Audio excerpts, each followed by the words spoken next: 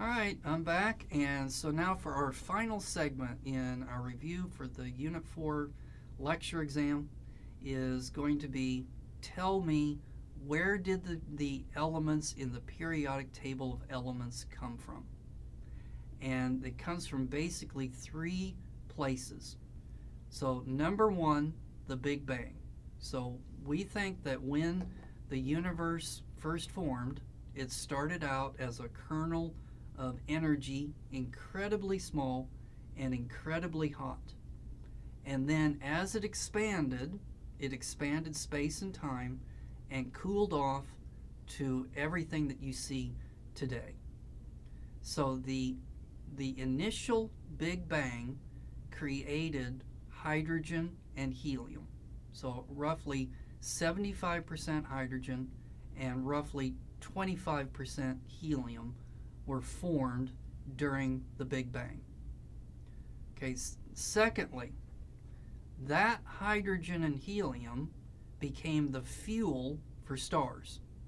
So the hydrogen and helium was floating around. It started to collapse because of gravity and it started to heat up. When, once it reached a certain temperature, then hydrogen started to be converted into helium through nuclear fusion. But eventually, a star will start to run out of hydrogen.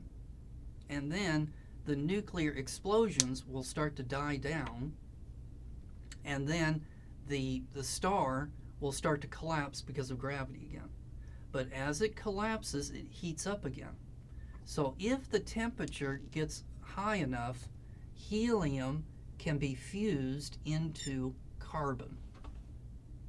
And then if the temperature, and so eventually the helium starts to run out and it collapses and the carbon, if the temperature gets high enough, the carbon can be converted into an even heavier element in the periodic table. So the elements from helium through iron are created in stars as they are dying. Now, once it makes iron, that's really, really bad because then when it collapses and you fuse the iron, nothing happens. So there's no more nuclear explosions to keep gravity at bay. So then the star is going to collapse and it's going to explode as a supernova.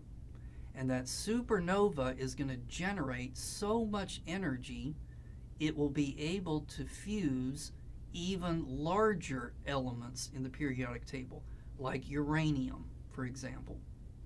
So normally, uh, it uh, with uranium, it wants to undergo fission and then release energy. But you can take elements and smash them together as long as you give it enough energy, you can create uranium. So that the elements up to iron are created as, an, as, as a star is dying, and then through the supernova explosion, you created the elements uh, larger than iron on the periodic table. Okay, so that's what I want you to know. These are the formulas that I'm going to give you on the exam, but you've got to know what the letters are and you need to know how to use the formulas. So I wish you luck on your exam. And then again, if you're one of my at least a dozen people that watch me from all over the world, so if you're one of those people, then stay tuned because I am eventually going to be making some more uh, physics uh, videos for you. So until then, goodbye.